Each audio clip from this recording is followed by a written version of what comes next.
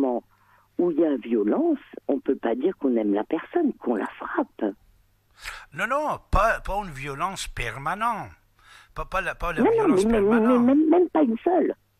À partir du moment où il y a une, une- on lève la main, Ouais. ça veut tout dire pour moi. Moi, je crois que, je crois que la- je vous ai posé la question, c'est pour ça. Maintenant, je vous ai dit que vous, vous- vous êtes exemplaire. Avec l'expérience que j'ai, moi, je pense que. Parce que quand on dit violence, ce n'est pas seulement frapper. Crier, casser des choses, devenir nerveux, Oui, terroriser l'individu, vous voyez mais- Ce, n'est pas seulement le frapper. Abassi, quand- attendez, monsieur Abassi, Oui, là. quand on casse des choses, quand on casse des choses, bon, on peut être énervé après son patron, on rentre le soir, on n'en peut plus, on a le droit d'avoir une soupape de sécurité, voilà, euh, ça pète, euh, voilà.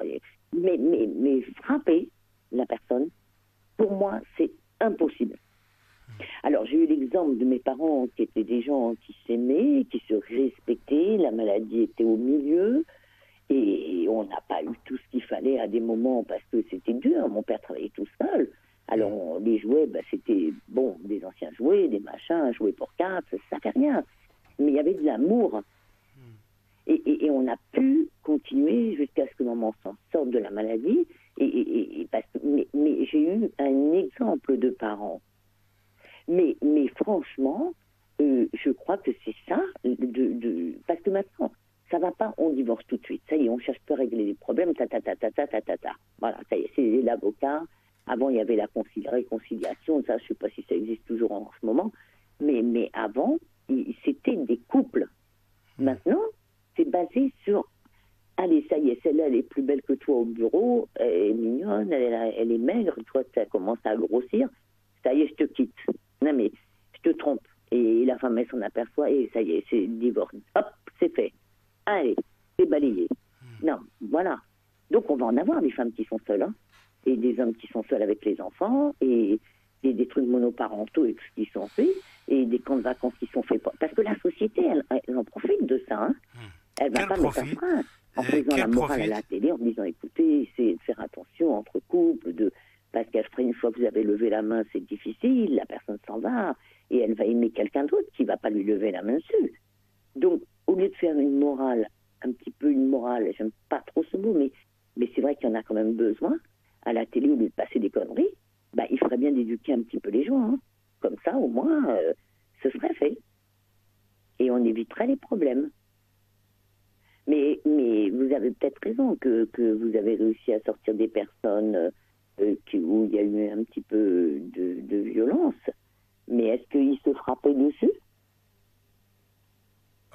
Une fois, euh, j'avais des gens qui m'ont frappé, même, même j'avais des gens qui avaient mis son mari en prison en disant que c'est un terroriste qui voulait me tuer. Les policiers, ils viennent, ils arrêtent l'individu euh, euh, avec la violence, il va aller en prison directement, puisque sa femme, il a dit que- que- que- que- qu'elle m'avait menacé de me tuer avec le, couteau et tout ça. Mais après que la femme, elle est venue pleurer devant moi, Euh, écoutez, mon, mon mari n'est plus là, j'ai plus l'argent, j'ai- deux enfants. J'ai dit, alors pourquoi tu as Ah fait oui, ça plus l'argent, j'ai deux enfants. ah, voilà, c'est pas- voilà. Non, non, euh, écoutez, euh, c'est très intéressant la suite. Après, j'ai dit alors, si il voulait te tuer, ah, tu as bien fait d'avertir les policiers, tu as bien fait de le mettre en prison, maintenant tu veux travailler. vous savez qu'est-ce qu'elle m'a dit? Il m'a dit, monsieur Hein? Abassi, je vous présente toutes mes excuses, j'ai menti. Il n'a pas voulu, il n'a pas voulu me tuer. On a disputé. Après, il est allé dans sa chambre et il dormait dans sa chambre. Euh, moi, j'ai crié, j'ai crié. Il ne répondait pas, il ne répondait pas. Je me mis en colère. J'ai le frappé, j'ai cassé la porte et patati patata. Et il Ah ne oui, bougeait là, c'est pas bien. Ah, Ouais. voilà, c'est-à-dire c'est la femme ici qui était malade. Euh, après, il ne bougeait pas, il ne bougeait pas. Alors j'en avais marre, je voulais le tuer. Alors, puisque je voulais, j'avais envie de le tuer à l'époque. Euh, alors j'étais allé voir le policier avec un couteau de la cuisine. J'ai dit avec ça, il voulait me tuer. Après euh, trois, quatre mois, il a fait sortir son mari de, de- la prison et il est sorti. Et après, il a présenté ses excuses à son mari. Surtout que moi, j'étais le témoin. J'ai dit qu'il est venu témoigner. Après, ils ont vécu une vie formidable, vous voyez, ça continue. Mais j'avais d'autres exemples aussi qui ça n'a pas bien marché, puisque de toute façon, la violence, l'expérience que moi j'ai eue, l'expérience que j'ai eue, ce n'est pas un, deux, trois, quatre, cinq dossiers, beaucoup de cas.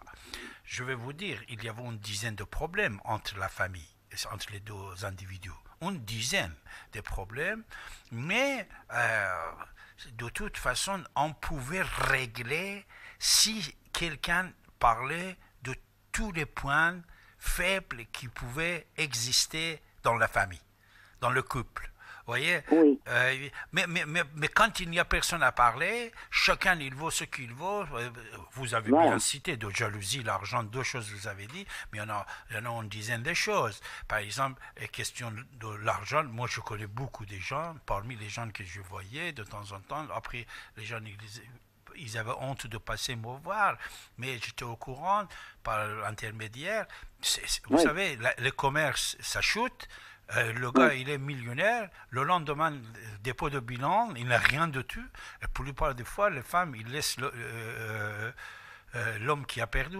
C'est-à-dire, il a perdu ah l'argent, il va perdre sa femme facilement. Personne ne va pas rester avec un homme qui n'a plus l'argent, qui n'est plus dépensé comme avant, vous voyez ça, ça, ça, ça, ça, ça, arrive tous les jours. Ah, mon copain avant-hier, il me disait, euh, le voisin de mon palier, euh, après 20 ans de vie ensemble avec deux enfants, tous les deux étaient beaux et belles, ah, il, vient de se quitter puisque le, le, euh, le, gars, il a perdu son travail. C'était un PDG en plus. C'était un PDG, hein mais il a perdu, euh, c'est-à-dire PDG, pas, comme les grands PDG des banques, ou je ne sais pas, c'était PDG d'une société voilà, anonyme, euh, je ne sais pas. Ah, c'est-à-dire, il y en a énormément de causes, de problèmes. Hum, après l'individu, euh, vous savez, pour le part des fois, quand l'homme, il perd l'emploi, quand il n'a plus l'argent et tout ça, il ne va pas venir à la maison dire ça à, son, à sa femme. Il va, pas, il, va, le garder pour lui-même.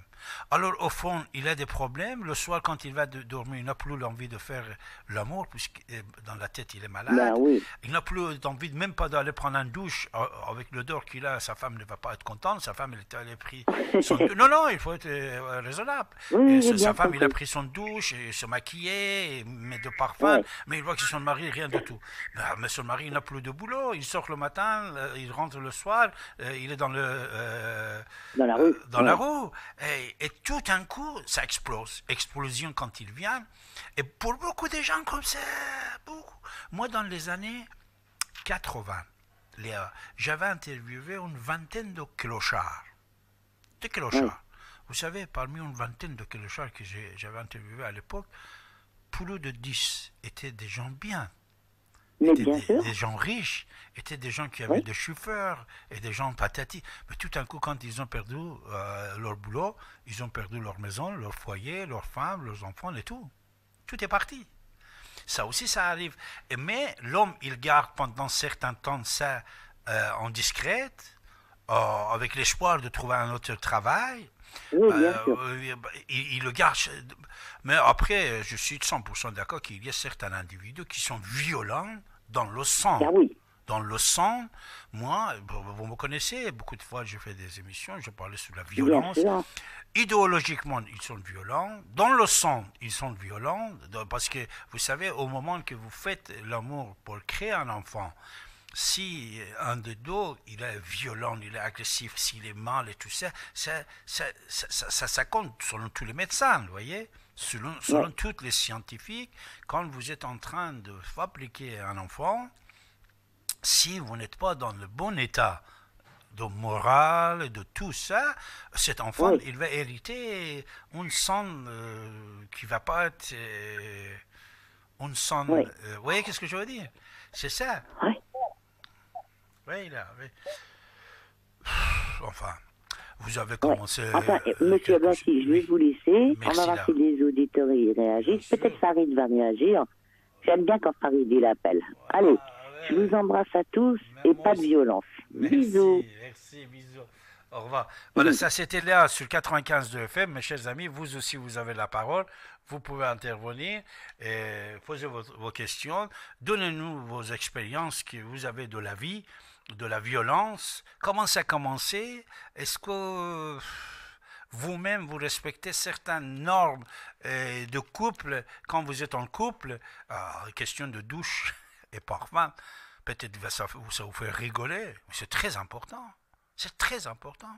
Tout à l'heure, je vais vous donner certains éléments qui, qui sont la cause principale euh, de violence conjugale.